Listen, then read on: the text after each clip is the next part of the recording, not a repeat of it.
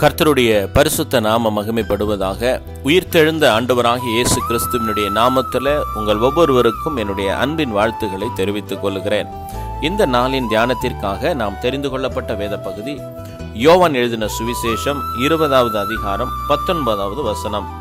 இயேசு வந்து நடுவே நின்று உங்களுக்கு சமாதானம் என்றார். நாம் வாசிக்க கேட்ட இந்த வேத பகுதியில கர்த்தராகி இயேசு கிறிஸ்து தன்னுடைய சீடர்களை சந்தித்து உங்களுக்கு சமாதானம் என்று சொல்லுகிறார். இவர் எப்படிப்பட்ட சூழ்நிலையில் சொல்றாருன்னா இந்த சீடர்கள் எல்லாரும் ஆண்டவராக இயேசு கிறிஸ்து மறித்து போனதுனால இயேசுவே மறித்து விட்டாரே.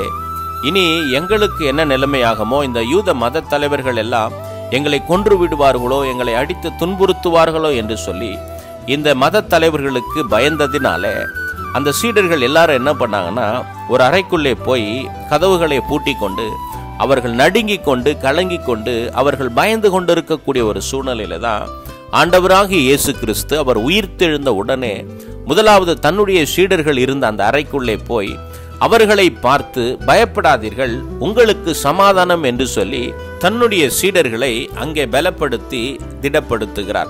ஆண்டவராகிய இயேசு கிறிஸ்துவை உயிரோடு பார்த்த தன்னுடைய சீடர்களும் அங்கே எல்லா பயங்களும் நீங்கப்பட்டு அங்கே தேவனுக்குள் தேவனை பார்த்ததினாலே சந்தோஷப்பட்டார்கள் என்று சொல்லி இந்த வேத பகுதி நமக்கு எடுத்து சொல்லக்கூடியதாக இருக்கிறது. பாருங்க நம்முடைய ஆண்டவராக இயேசு கிறிஸ்து இரண்டாயிரம் வருடங்களுக்கு முன்பதாக அவர் மறித்தார் ஆனாலும் மூன்றாவது நாள் உயிரோடு எழுந்தருளி இன்றைக்கும் சாவாமை உள்ளவராய் ஜீவன் உள்ளவராய் அவர் சதாகாலமும் வீற்றிருக்கக்கூடியவராய் அவர் கொடுத்த வாக்கு தத்தத்தின்படி இதோ மறித்தேன் ஆனாலும் சதா காலமும் சகல நாட்களிலும் நான் உங்களுடனே கூட இருக்கிறேன் என்று சொன்ன அந்த வாக்கு தத்துவத்தின் அடிப்படையிலே அவர் எல்லா நாளும் நமக்குள்ளே நம்மோடு கூட இருக்கிறபடினாலே நாம் இனி எந்த காரியத்தை குறித்தும் பயந்து கொண்டிராமல் எந்த காரியத்தை பார்த்தும் கலங்கி கொண்டிராமல் என் ஆண்டவர் உயிரோடு இருக்கிறார். அவர் எல்லாவற்றையும் பார்த்து கொள்ளுவார். அவர் எல்லா தேவைகளையும் சந்திக்க அவர் இன்றைக்கும் உயிருள்ளவராய் இருக்கிறார். இனி நான் பயப்பட மாட்டேன். இனி நான் எதற்கு எதை குறித்தும் கவலைப்பட மாட்டேன் என்று சொல்லி ஒவ்வொரு நாளும் நீங்கள் விசுவாச அறிக்கைகளை செய்து ஆண்டவரை நோக்கி பாருங்கள். நிச்சயமாகவே நம்முடைய சமாதான பிரபுவாகிய இயேசு கிறிஸ்து அவர் உங்களுடைய வாழ்க்கையிலே அவர் சமாதானத்தை இன்றைக்கு உண்டு பண்ண உங்களுக்கு சந்தோஷத்தை கொடுக்க அவர் வல்லமையுள்ளவராக இருக்கிறார். பாருங்க நாம் இதே வேத பகுதியிலிருந்து இன்னொரு ஒரு சம்பவத்தை நாம் அறிந்து கொள்ள வேண்டும். பாருங்க இயேசு கிறிஸ்து அவர் மறித்து விட்டார் என்று சொல்லி அந்த இயேசுவை பகைத்த யூத மத போதர்கள் ரொம்ப சந்தோஷப்பட்டாங்க. ஆனால் இயேசு கிறிஸ்து மரணத்தை ஜெயித்து அவர் உயிரோடு எழுந்து விட்டார் என்று சொல்லி இயேசுவை பகைத்த அந்த பகையினர்கள் மத போதர்கள் கேள்விப்பட்டு இருக்கும் பொழுது அவங்க எப்படி ஆயிருப்பாங்கன்னா அவங்க தான் ஏதோ ஒரு ரூமில் போய் பயந்து கொண்டு அவங்க நடுங்கி கொண்டு ஐயோ இயேசு கிறிஸ்து உயிர் தெழுந்து விட்டாரே அடுத்து எங்க வாழ்க்கையில என்ன நடக்குமோ? என்று சொல்லிதான் அவர்கள் பயந்து போய் நடுங்கி கொண்டு இருந்திருப்பாங்க பாருங்க இயேசு கிறிஸ்து உயிர் தெழுந்தது அவருடைய பிள்ளைகளாகிய நமக்கு கொண்டாட்டம் நம்முடைய சத்துருக்களுக்கோ அது மிகப்பெரிய திண்டாட்டம் என்று சொல்லி நாம் மறந்து விடாமல் இன்றைக்கும் என் ஆண்டவர் சத்துருக்களை முறியடிப்பதற்காகவே அவர் உயிரோடு எழுந்தருளிருக்கிறார் அவர் மரணத்தை ஜெயித்தவர் அவர் பாதாளத்தை தோற்கடித்தவர். இனி என்னுடைய சத்துருக்களுக்கு என்னிடத்தில் இடமில்லை. அவன் விழுந்து போனவன் தோற்கடிக்கப்பட்டவன் அவனே பயத்திற்குரியவன். எனவே நான் ஒரு காலமும் இனி பயப்பட மாட்டேன். என் மீட்பர் உயிரோடு இருக்கிறார்.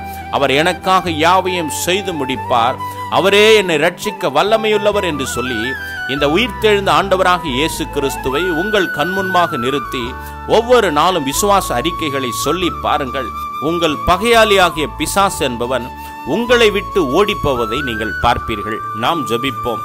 எங்களை நேசித்து எங்களுடைய பாவங்களுக்காக மறித்து எங்களுக்காக உயிர்த்தெழுந்த எங்கள் அன்புள்ள இயேசுவே இந்த நாளிலுமாய் கூட உங்களுக்கு சமாதானம் பயப்படாதீர்கள் என்று சொல்லி நீர் உம்முடைய பிள்ளைகளை பார்த்து திடப்படுத்தின உம்முடைய வாக்கு தத்துவத்திற்காக ஸ்தோத்திரம். ஆண்டவரை இன்றைக்கும் இந்த டெய்லி சேர்ந்து பார்க்கிற உம்முடைய பிள்ளைகளுடைய வாழ்க்கையிலே ஆண்டவரை யாரெல்லாம் ஒரு பயத்துடனும் நடுக்கத்துடனும் கலக்கத்துடனும் இருக்கிறாங்களோ ஐயோ என்னுடைய தொழில் என்னவாய் முடியுமோ ஐயோ என்னுடைய பிள்ளைகளுடைய காரியம் என்னவாக முடியுமோ இந்த வியாதி எங்கே கொண்டு போய் என்னை விடுமோ என்னுடைய குடும்பத்தினுடைய தரித்திரம் என்னவாகுமோ என்று சொல்லி அநேக குழப்பங்களுடனும் போராட்டங்களுடனும் இருக்கக்கூடிய உம்முடைய பிள்ளைகளுடைய வாழ்க்கையிலே தேவரீர் உம்முடைய உயிர்த்தெழுந்த வல்லமையினாலே இன்றைக்கு இந்த குடும்பங்களிலே உம்முடைய சமாதானத்தை அனுப்பி சந்தோஷத்தை நிறைவாய் கொடுக்கும்படியாய் இவர்களை உம்முடைய சந்தோஷத்தினால் மகிழ்விக்கும்படியாய் நான் செபிக்கிறேன். இந்த நாளிலே உம்முடைய பிள்ளைகள் மகிழ்ந்திருக்கும்படியாய் வரக்கூடிய நாட்களிலே உம்முடைய சமாதானத்தை பார்க்கும்படியாய் நான் செபிக்கிறேன். என் ஜனங்களை ஆசீர்வதிக்கிறேன். இயேசுவின் நாமத்தில் பிதாவே ஆமேன்.